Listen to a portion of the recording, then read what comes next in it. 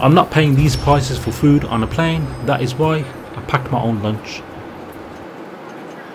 So what we made here is some tuna and cheese sandwiches and bought some packed fruit.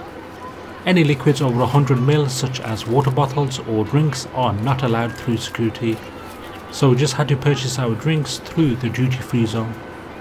Plastic cutlery is fine to take in your hand luggage for any food.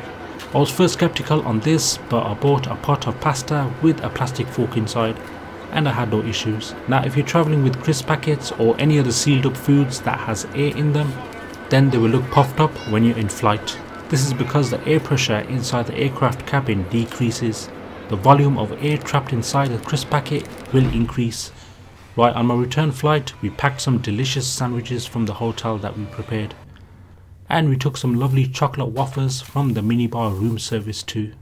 The only thing that I bought from the plane was a cup of tea. Anyway, if you're looking to take food on the plane, make sure it's packed in a container or sealed and if you're unsure about anything then always check online for further information.